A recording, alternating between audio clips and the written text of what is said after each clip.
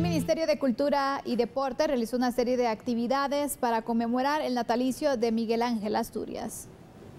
Autoridades del Ministerio de Cultura y Deportes y familiares de quien en vida fuera Miguel Ángel Asturias Rosales conmemoraron este 19 de octubre el 122 natalicio del Premio Nobel de Literatura con una serie de actividades que se realizaron en la vivienda, la cual ocupó durante su infancia. El viceministro de Cultura comentó que otra de las actividades es la inauguración en un futuro próximo de la Casa Museo Miguel Ángel Asturias en el emblemático barrio de la Candelaria. Es por esa razón que en esta oportunidad hemos hecho esta celebración en la casa que habitó nuestro premio Nobel, también lanzando desde ya eh, la información de que muy pronto a través de la Fundación Asturias y los esfuerzos del Ministerio de Cultura y Deportes, esta casa se convertirá en una casa museo. Nosotros quisimos este año no solo fue celebrar con un acto protocolario eh, los 122 años del natalicio de nuestro premio Nobel, sino que quisimos darle a la población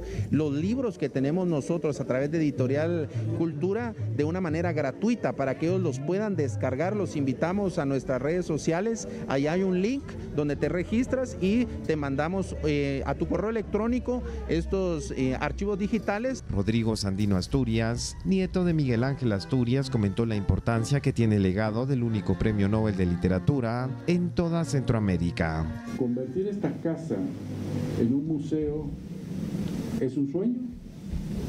Es un sueño que desde hace algunos años empezamos a idear y que finalmente parece que empezamos a concretar. Nosotros como familia y como fundación Queremos dejar ese legado al pueblo de Guatemala. Todo lo que tenemos en familia, ponerlo al servicio de la sociedad, de los estudiosos.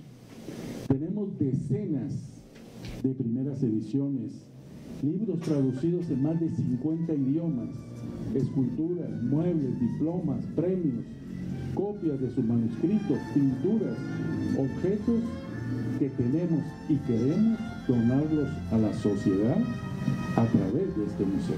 El proyecto Casa Museo Miguel Ángel Asturias tendrá un costo superior a los 5 millones de quetzales y sería financiado por la Fundación Asturias y el Ministerio de Cultura y Deportes.